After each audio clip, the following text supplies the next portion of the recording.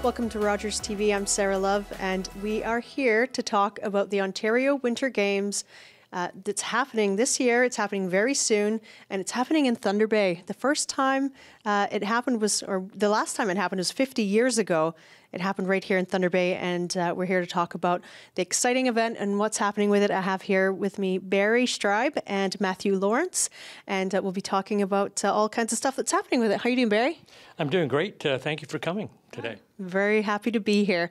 So, uh, with the mild weather, I know the Winter Games, normally in February, we usually have cold weather, lots of snow. Uh, we're still a go for the Games.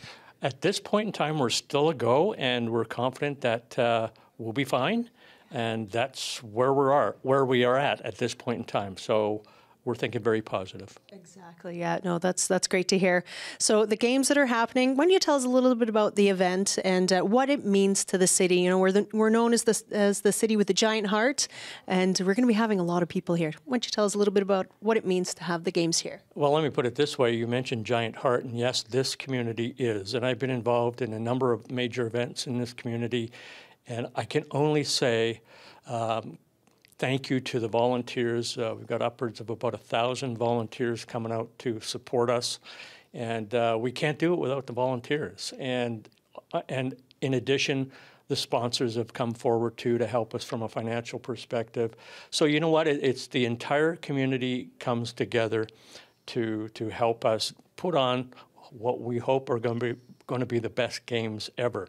Um, but it, we do it for one reason, uh, from my perspective as the chair. We're doing it for the athletes. We're doing this event for them so they can come out here. They're 12 to 18 years old. They're young individuals embarking on their athletic career.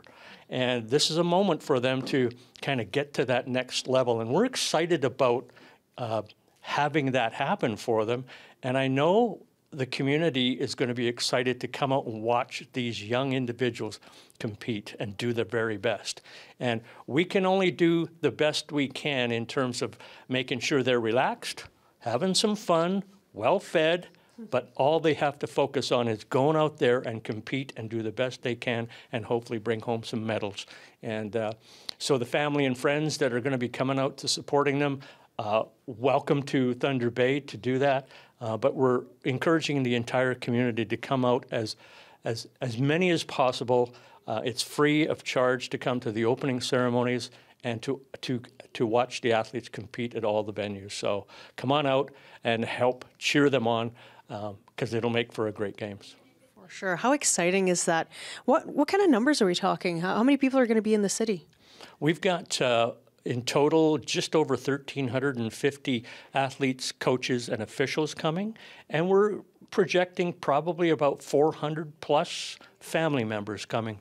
So it's about 1,800 individuals coming into our community, community, and that is a major economic impact. So it's it, everybody wins, but uh, I'll just say it again: it's the athletes. That's what we're here for. Fantastic, and what a privilege and what an honor to be able to host this event here in Thunder Bay. We're always honored to be able to host these events. So when we when we bid for them, uh, we do it with our heart. Uh, this community does have a giant heart, and we bid on these major events for that reason because we know our community and our region too are going to be very excited about uh, having these kinds of events in uh, Thunder Bay.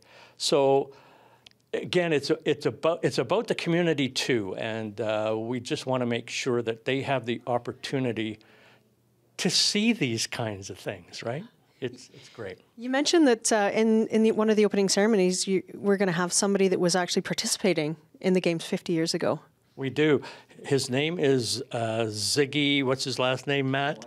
Anyway, Ziggy, and I, I've known him and I didn't realize he was in the 1974 games here.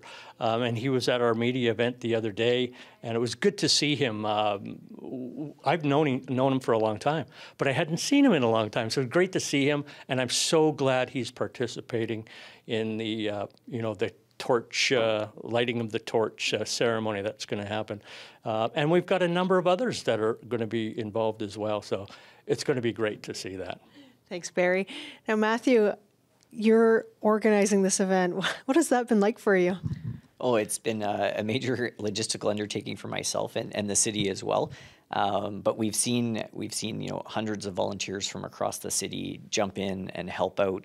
Uh, you know, you mentioned uh, you mentioned the snowfall earlier and whether it was a concern, and you know, uh, the mild weather, I don't think anybody can deny it's been happening, but we've seen t- huge teams of volunteers get out to venues to help shovel, to, to beef up those courses, to make sure they're ready for race day. We've seen, you know, Snowmobile Club come out and help help transfer snow onto the onto the trails for the kids. So we've seen a huge community undertaking to help make this happen. And, and it's not just even it's not just the core team of volunteers that we've got working here uh, out of the city in our games organizing committee, but uh, it's local clubs, uh, local athletic clubs around town. You know, whether it's the you know if we're holding a fencing event, then you know the fencing club is involved in the organization, and if we're holding a cross country ski event, you know that group's involved, and that that happens with every sport across the city, and uh, and it's just massive. And uh, the logistical uh, the logistical challenges have, have been great, but the, this team has met them in full force.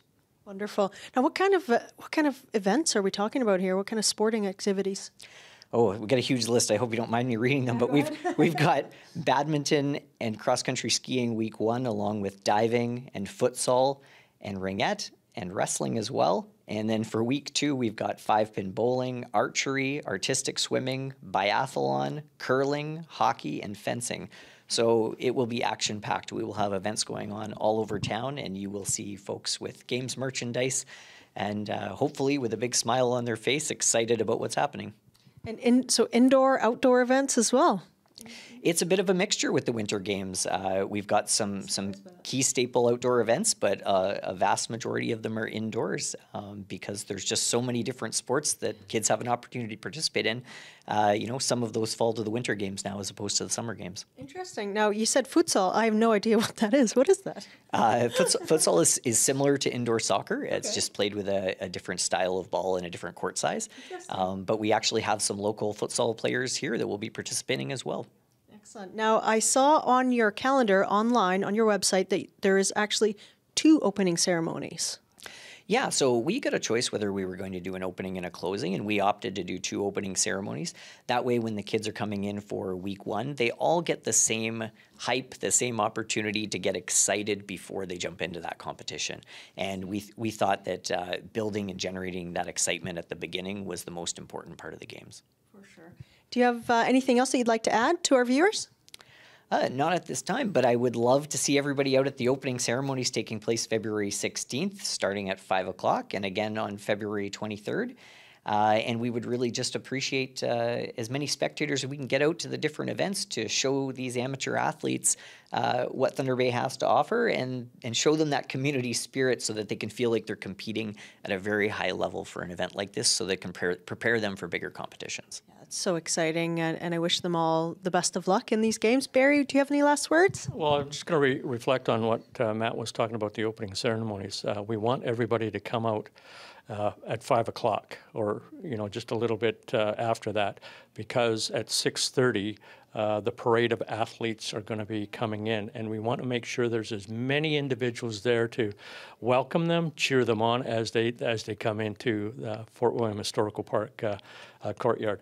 Um, that's important. It just shows the spirit of what Matt was saying, the spirit of Thunder Bay and what, what we can offer, and just make them feel so welcome. And uh, it, that goes to the coaches and the officials and everybody, all the other guests coming into our community. So um, it's going to be fun. But the com- competition is going to be fun too. Yes, for sure. I'm excited for it.